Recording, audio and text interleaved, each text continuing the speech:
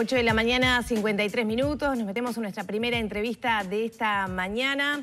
La encuesta continua de hogares eh, ha sufrido algunos cambios, algunas modificaciones, actualizaciones para que la información que genera tenga mayor precisión y también de mayor utilidad. Para conocer los detalles de estos cambios que se presentaron recientemente es que recibimos al director del Instituto Nacional de Estadísticas, Diego Aboal. Bienvenido nuevamente a Arriba Gente. Buenos días, Lorena. Muchas gracias por la invitación. Bienvenido, gracias. Me gustaría comenzar como un pasito para atrás, recordarle a la gente que es la, encuesta continua de hogares que hace muchos años que se aplica, cómo funciona y, cuál es su utilidad, ¿no?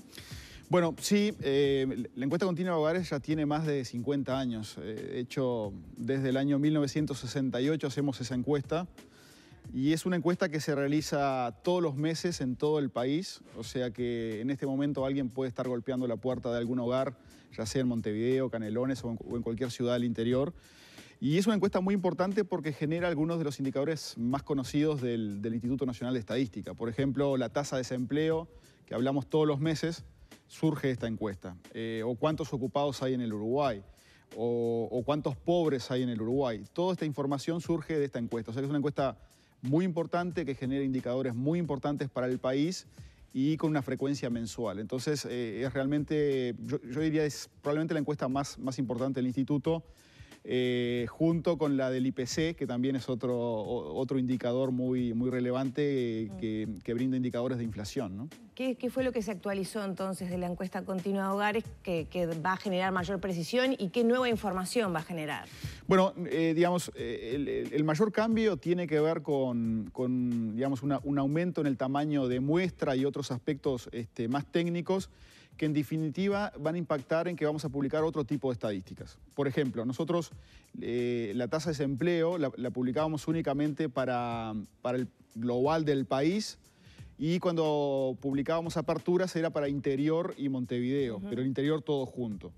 Eh, a partir del sexto mes de funcionamiento de la nueva metodología, es decir, hacia, diciembre de este año, dentro de unos tres meses más o menos, porque arrancamos en, julio, vamos a publicar datos de desempleo y empleo a nivel de cada uno de los departamentos. Esto va a ser obviamente algo muy útil y seguramente eh, muy relevante para todo el interior del país.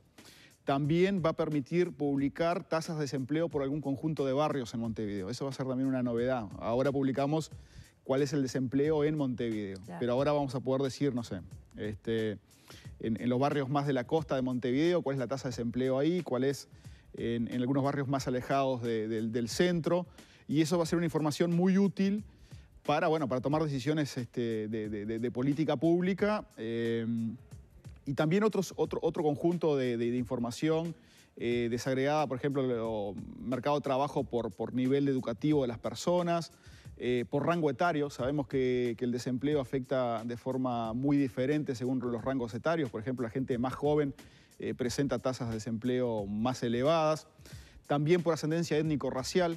Este, sabemos que la población afrodescendiente eh, tiene situaciones más complejas, tanto en la tasa de desempleo como, en, la tasa de, de pobreza, etc. Entonces, esto va a permitir en definitiva publicar indicadores con una mayor apertura y esto va a ser seguramente muy útil. Eh, por supuesto que eh, el gobierno ya desde, desde que, inició, dio los primeros pasos, habló acerca de que se le iba a dar una importancia específica a todo lo que es la generación de estadísticas, que se iba a dar una prioridad a justamente el cambio que, que se está realizando. Pero bueno, hay dos situaciones que también pueden implicar un impedimento. Uno lo es y lo fue, la emergencia sanitaria, que me gustaría que ampliaras un poco en qué pasó con eso ir a golpear a la puerta, que ya no es tan fácil que provocó un cambio en la metodología, y la otra es con la cantidad de personal que requiere hacer un cambio de esta envergadura. ¿Cómo se están manejando con esa situación? Sí, bueno, eh, digamos, arrancando por, el final de la pregunta. Eh, esta, esta, mejora metodológica es, eh, es, es, uno de los cambios más importantes en los 50 años de funcionamiento de la encuesta continua de hogares. Eh, porque además de esto que yo decía, de aumento del tamaño de muestras, se, mejoró el, formulario de preguntas. Eh, se introdujeron sistemas informáticos nuevos que permiten trazar el dato desde que el encuestador va a la casa, lo carga en el dispositivo hasta que llega una base de datos que es analizada. Implicó muchos cambios. Eh, y, estuvimos trabajando en esto ya hace, desde que arrancamos este, el año pasado, en, marzo, en, esta nueva metodología. Y obviamente esto implicó mucho esfuerzo de, todo el INE. Eh, en, digamos, en la división que produce esta encuesta trabajan alrededor de, 120 personas, contando los encuestadores, y, estuvieron todos trabajando en este proceso y todavía estamos haciendo mucho trabajo porque estamos en un proceso de, adaptación. Yo he estado recorriendo el país estos días, conversando con los encuestadores, viendo qué dificultades hay, porque obviamente al ser un cambio tan profundo genera, genera este, un periodo de transición y dificultades este, de adaptación. Eh, con respecto a la pandemia, eh, ese fue otro, otro elemento muy complejo. Nosotros estuvimos haciendo encuestas telefónicas hasta julio. El retorno a la presencialidad no fue fácil, digamos, este, em, porque bueno, había, había incluso temores de los encuestadores de volver, de volver a la calle, más allá de que la situación estaba eh, sanitaria relativamente controlada a partir de julio. Entonces, nada, hemos tenido dificultades por el propio cambio este, y mejora metodológica, pero además eh, vinculado a la pandemia, que fue un, extra, este, un elemento extra sobre eso. Pero bueno, este, la verdad, muy agradecido a todos los equipos del INE. Eh, son unos cracks realmente, o sea, trabajaron muy fuerte para que esto fuera posible y que en definitiva el país tenga, tenga indicadores más útiles este, y más útiles a nivel desagregado del país, que es una de mis, preocupaciones. O sea, eh, tenemos la, tendencia, hemos tenido históricamente en el INE, de publicar indicadores agregados para todo el país y, las realidades son muy heterogéneas, muy heterogéneas en todo el país. O sea que esto va a ser un aporte realmente muy importante. Tú lo mencionabas y por supuesto que la toma de decisiones va directamente relacionada con la cantidad de información de la que se disponga y la efectividad y eficiencia de las mismas. Eso esperamos. Esperamos. Eso, uno puede llegar a pensar, bueno, lo usa la UPP, lo usa los ministerios, pero yo, Verónica, a ver, ¿para qué me puede servir a mí esa información? Yo puedo entrar a la página del INE y decir, a ver, ¿qué encuentro? Claro. Bueno, eh, digamos, hay, algunos indicadores o alguna información que, es de mucho eh, uso para el público general. Por ejemplo, este, estos indicadores, digamos, de cuánto vale una, unidad indexada, este, que está vinculado a la evolución de la inflación.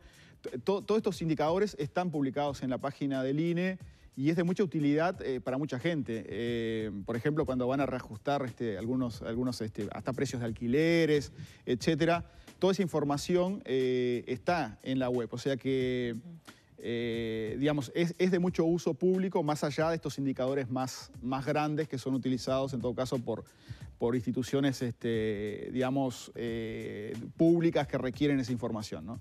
Pero en la web de línea hay, hay muchísima información y mucha de ella es, es, este, accedida por, por, gente común y corriente, digamos, que utiliza esos indicadores. Digo, presupuestalmente, ¿esto qué significa? Eh, ¿Alcanzan los recursos? ¿Se requieren más? Eh, me refiero a recursos económicos, pero también personal, ¿no? Sí. Que tiene que estar capacitada en estas nuevas tecnologías, en la nueva metodología.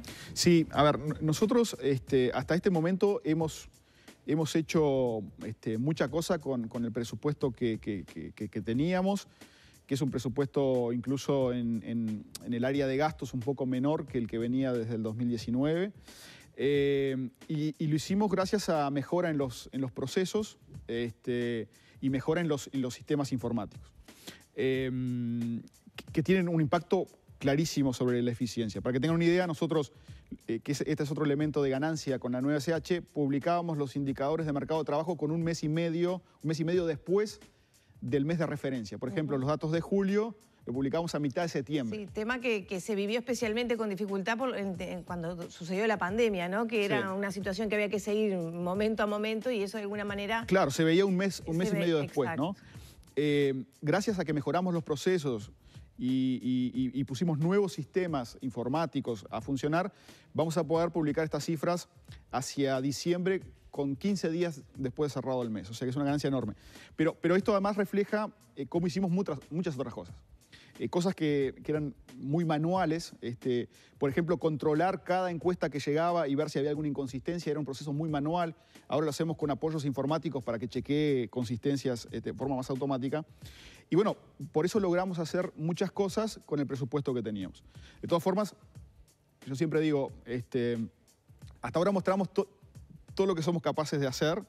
Eh, y esto nos va a dar un poco de, legitimidad para ir a pedir este, eh, más recursos, porque bueno, eh, con ganancia de eficiencia se llega hasta cierto punto. si queremos dar un nuevo salto y hacer nuevas cosas, vamos a requerir algo más de presupuesto y algo más de personal. ¿De, cuánto estamos hablando? Y, ¿Cómo se va a viabilizar eso? Sí, a ver, no, no, tenemos una cuenta exacta, pero, pero digamos, un área que tenemos que reforzar mucho en el instituto que parece raro lo que voy a decir ahora, pero es, es, es este, gente muy especializada en el manejo de, grandes bases de datos este, e información. Uno diría, bueno, ustedes deberían tenerlo, ¿no?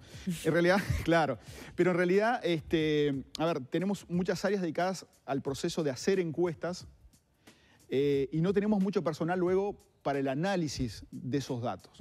Eh, Eso además se va actualizando año a año. Año a año y el flujo de información cada vez es mayor. Además el instituto no solo está usando este, ahora encuestas, sino que además está recibiendo información de registros administrativos que están en, otros, en otras partes del Estado. Y eso es, un flujo de información muy importante y tiene que haber gente muy tuarca, digamos, que sea capaz de usar eso. Eh, yo diría que necesitamos ahí formar un equipo potente de, de unas 10 personas, me animaría a decir, este, analistas de datos muy potentes. Entonces, em, seguramente este año que viene vamos a ir a, digamos, a, pedir algo de recursos para, para lograr esa, esa gente. Justamente eso quería preguntarte, hacías referencia recién, mucho se está hablando y el mundo va hacia el cruzamiento de datos, no ir a golpear una puerta, sino el cruzamiento de datos. Aprovecho ya para, para unirlo de que a uno le dicen INE y dice censo. Y piensa, es el día que nos quedamos todos adentro de nuestra casa esperando que venga el censador, le damos unos bizcochitos porque es toda una emoción. y a nivel... Bueno, no. sí, otros sí. Eh, también. Y a medida que, va pasando el tiempo, el mundo va hacia el cruzamiento de datos que ya están ingresados en, diferentes, en, diferentes instancias de nuestra vida, lo cual lo hace innecesario. Pero nosotros igual estamos en la antesala de la realización de un censo, mucho se ha hablado de cómo se va a realizar y atando justamente toda esa información ¿qué tan lejos, qué tan cerca estamos de la posibilidad de, que justamente lleguemos a algo parecido, aunque sea? Bueno, en realidad, eh, digamos, sí, estamos, estamos en un proceso de, trabajo muy fuerte para el censo que va a ocurrir en el primer semestre del 2023. De hecho, el mes que viene ya tenemos eh, pilotos, este, vamos a probar diversas cosas.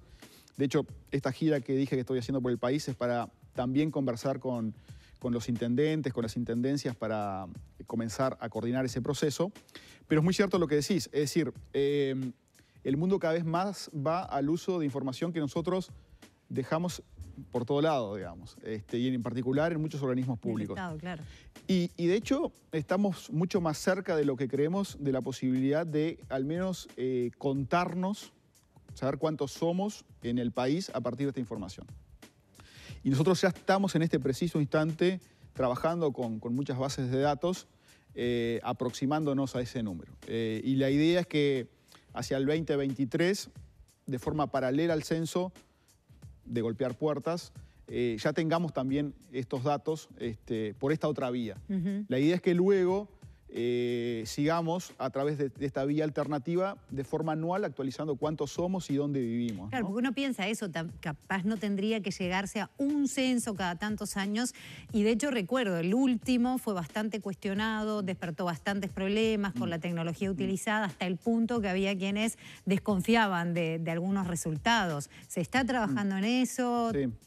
Sí, sí, sí. Este, nosotros estamos trabajando eh, eh, muy, fuerte para, digamos, una vez concluido el censo 2023, a partir del 2024, 2025, eh, comenzar a publicar algunas, algunas de las variables que aparecen en el censo, típicamente cuántos somos y, en qué lugar del país vivimos, a partir de fuentes alternativas de, datos.